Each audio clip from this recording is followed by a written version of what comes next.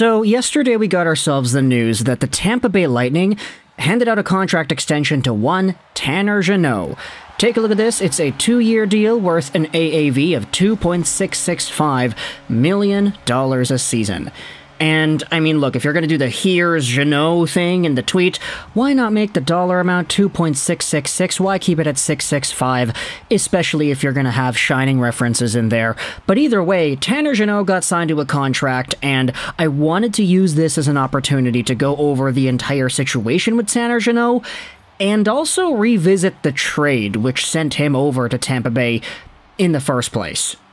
Now, Tanner Jeannot is a really intriguing name because just last year, Tanner Jeannot, at 24, turning 25 years old, was a rookie in the NHL for the Nashville Predators. He had 81 games played, led the entire rookie class in the NHL in goals with 24, and he had 41 points on top of that. Not to mention the 130 penalty minutes, which really put him on the map as this brute force of a power forward guy who had a goal scoring touch, 6'2, 207. So he's not huge, but he's definitely big enough to make an impact out there physically. And that's what he did in this first season in Nashville it's honestly kind of funny because you take a look at his rookie season in the NHL, just the prior year, he was playing with the Florida Everblades in the ECHL. He had a five game stint over there. Now, sure, he also played in the NHL and the AHL that season, but it was kind of interesting seeing a guy go from what was essentially being a ECHL tweener to NHL regular. Despite this, though, Tanner Jeannot, in his next season's worth of play, his second full year in the National Hockey League, saw him put up 14 points in 56 games. Now, the penalty minutes stayed the same, 85. He was still going out there and brutalizing guys, but his point production and goal scoring dropped off tremendously.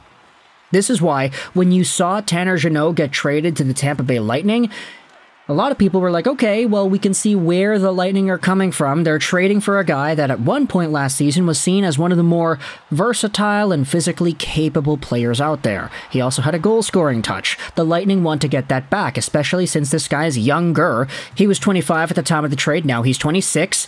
Just like Brandon Hagel last time, it makes sense why the Lightning are going after Jeannot. What did they trade to Nashville? This is where you get into the nitty gritty because Tanner Jeannot was traded from Nashville to Tampa Bay in exchange for defenseman Cal Foote, the Lightning's first in 2025, their second in 2024, as well as their third, fourth, and fifth in 2023.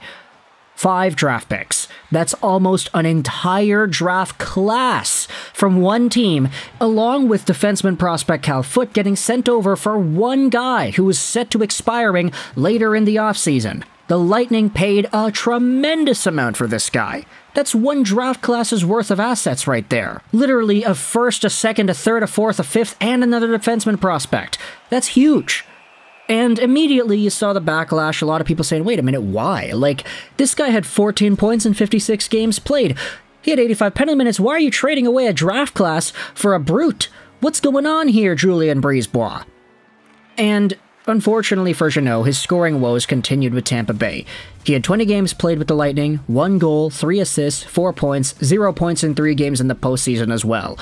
And so when it comes to the optics of just how everything looks, sure, when you re sign a guy like Tanner Jeannot to a two year, $2.665 million AV extension, you could understand that you're paying him because of the body of work he has had done before. You can understand that Tanner Jeannot is taking a bridge deal because he wants to show off that the small sample he had in Tampa Bay earlier this year wasn't indicative of his entire skill set. He's better than four points in 20 games. This makes sense when you look at it from the contract amount. It's just in hindsight, when you acknowledge what the trade actually looks like, I don't know if it looks any worse, to be honest. That's not me going out there and hating on Tanner Jeannot either. I mean, you remember the videos we made last year in 2021, 2022, talking about the Calder race, the Michael Buntings and the Moritz Seiders and the Raymonds. Tanner Jeannot was right in that conversation, and you can go back to videos from last year where we discuss, hey, this guy in Nashville is a really good goal scorer, and he's a really good versatile puck protector, and he really moves with the puck, and he's physical, and he can fight, and he does all these things, and he's a good rookie, and then he went and had this previous year. Now I get it, you could say health. He had injury problems this previous season, which didn't really help him in that respect. But at the same time, just the sample on paper is not promising when you think about what the Lightning ended up giving up. If Tanner Jeannot becomes what we think he has the potential to becoming, then okay, maybe an entire draft class worth of picks plus Cal Foote is a worthy return.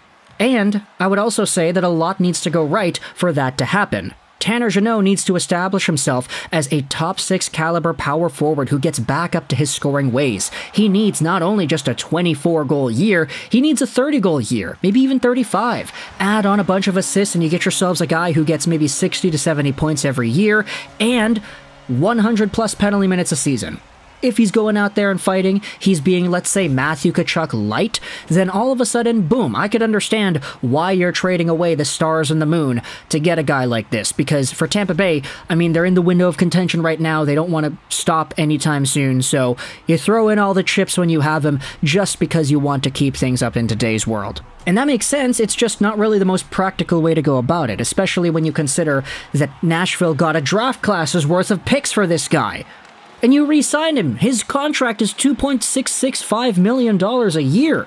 You traded away a draft class for $2.665 million worth of a player. Like, I know I can give all the caveats and I can believe in Jeannot, and you can believe in Jeannot too, but just the way everything looks, the optics of that, yeah, it's not great. Not until Tanner Jeannot goes out there and has a breakout season next year, besting his career highs in his rookie season and actually beating that sophomore, maybe even junior slump in the NHL.